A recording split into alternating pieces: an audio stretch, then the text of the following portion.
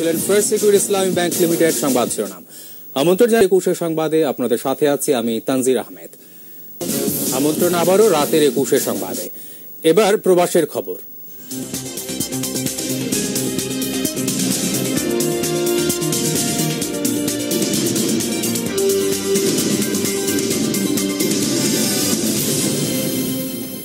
ইতালির Milan Muslim centre একাডেমির বার্ষিক পরীক্ষার ফলাফল প্রকাশ ও পুরস্কার বিতরণী অনুষ্ঠিত হয়েছে। এই উপলক্ষে সম্প্রীতি শিক্ষার্থীদের মাঝে কোরআন থেকে তেলত প্রতিযোগিতা অনুষ্ঠিত হয়। প্রবাসে বেড়ে ওঠা বাংলাদেশি নতুন প্রজন্মের মাঝে ইসলামের আদর্শ তুলে ধরতে প্রতি বছর এই অনুষ্ঠানের আয়োজন করা হয় বলে জানান মিলান মুসলিম সেন্টারের সভাপতি জসিম আহমেদ। এ সময় পরীক্ষায় উত্তীর্ণ শিক্ষার্থীদের হাতে সনদপত্র ও পুরস্কার তুলে দেন শিক্ষক, অভিভাবক ও বিভিন্ন রাজনৈতিক সামাজিক সংগঠনের নেতারা। আর এর সাথে শেষ করছি রাতের একুশে সংবাদ, যাবার আগে first security Islami bank limited সংবাদ শুনলামগুলো আরও একবার।